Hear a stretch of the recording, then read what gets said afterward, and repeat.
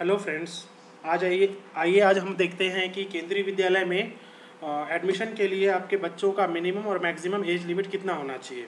इसके लिए सबसे पहले हम लोग चलते हैं गूगल पे और गूगल पे टाइप करते हैं केंद्रीय विद्यालय संगठन की वेबसाइट खोजते हैं हम लोग। जैसे ही हमने केंद्रीय विद्यालय संगठन की वेबसाइट सर्च किया, हमको एक, यहाँ पे एक लिंक मिलेगा। इस लिंक पे जैसे हम क्लिक करेंगे, हमको एक नया पेज मिलेगा। इस पर हमको फिर से क्योंकि केंद्रीय विद्यालय ने अपना वेबसाइट चेंज किया है तो आपको नए वेबसाइट में जाने के लिए इस लिंक पर क्लिक करना होगा।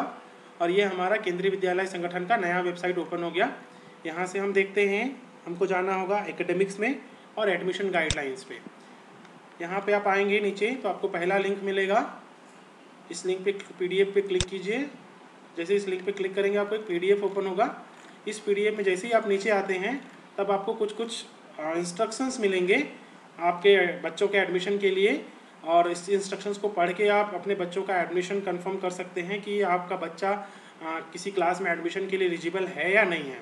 आज के इस वीडियो में हम ये बताना चाह रहे हैं कि आपके बच्चे का केंद्रीय विद्यालय संगठन में केंद्रीय विद्यालय में एडमिशन के लिए मिनिमम और मैक्सिमम एज लिमिट कितनी होनी चाहिए? अलग अलग कक्षाओं में एडमिशन दिलाने के लिए।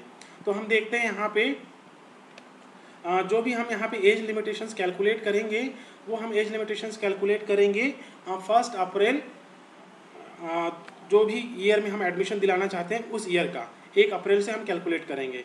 तो क्लास वन के लिए हम देखें तो क्लास वन के लिए हमारे पास मिनिमम एज लिमिट होनी चाहिए मिनिमम एज होना चाहिए पाँच साल। मतलब बच्चा पाँच साल कंप्लीट अगर कर लिया है एज ऑन फ़र्स्ट अप्रैल 2020 तब वो बच्चा 2020 में कक्षा एक में प्रवेश लेने के लिए पात्र होगा।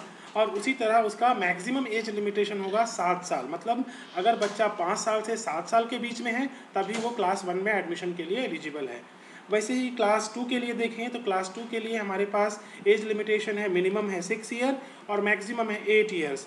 क्लास थ्री के लिए minimum seven years, maximum nine years. Class fourth के लिए eight years and ten years fifth के लिए nine years and eleven year इसी तरह से हम टोटल क्लास टेंथ तक के लिए मिनिमम और मैक्सिमम एज लिमिट केंद्रीय विद्यालय संगठन ने अपने नोटिफिकेशन पे दिया हुआ है। ठीक है? इस एज लिमिटेशन पे कुछ एग्जाम्पन्स भी हैं एग्जाम्पेड कैटेगरीज भी आते हैं like the maximum age limit can be relaxed for two years in case of deficient differentially abled childrens मतलब जो बच्चे विकलांग हैं, जिनमें कुछ विकलांग, विकलांगता है, उन बच्चों के लिए केंद्रीय विद्यालय संगठन ने एक विशेष छूट दी है। उन बच्चों को दो साल का एज रेस्ट्रिक्शन में या एज लिमिटेशन में छूट दी जाती है। वो दो साल का जो छूट है, वो दोनों में दिया जाएगा। That is minimum age limitation में भी दो साल का छूट रहेगा और मैक्सिमम एज लिमिटेशन पे भी दो साल का छूट रहेगा। वहीं आते हैं, देखते हैं पॉइंट बी पे। इस पॉइंट पे हम देखेंगे कि क्लास इलेवेंथ में एडमिशन ले रहे बच्चों के लिए कोई एज लिमिटेशन नहीं है। वैसे ही क्लास ट्वेल्थ में एडमिशन ले रहे बच्चों के लिए भी कोई एज लिमिटेशन नहीं है।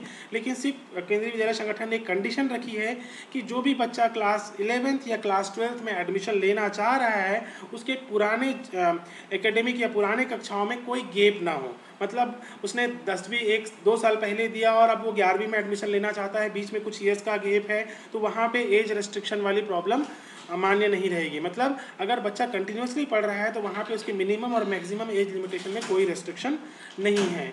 आगे की जानकारी हम और अगले, अपने अगले वीडियो में देंगे।